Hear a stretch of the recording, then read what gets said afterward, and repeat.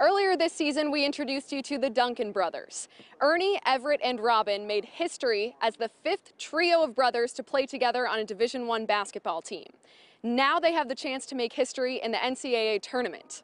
The Duncans are living out a backyard dream on the biggest stage for college hoops. It's crazy. I mean, growing up, I think watching the tournament with my brothers has been crazy, and then experiencing now is even wilder. Going through this experience as brothers has topped all other basketball moments dating back to their days in Evansville, Indiana. I was really thinking about playing with them in high school and how special that was, and like our sectional championship game and winning that one. But then winning the one at Patrick was a million times that, and it was just so special. And I, you know, it's hard to say how I feel about it, but it's just so enjoyable.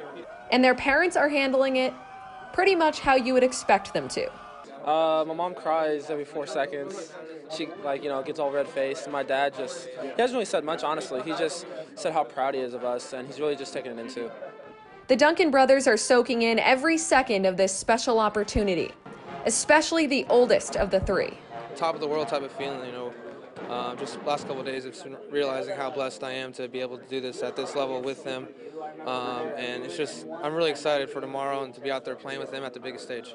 If all three brothers play on Thursday, they'll become the first trio of brothers to play on the same team in an NCAA tournament game. Reporting in Hartford, Connecticut, I'm Lauren Walsh.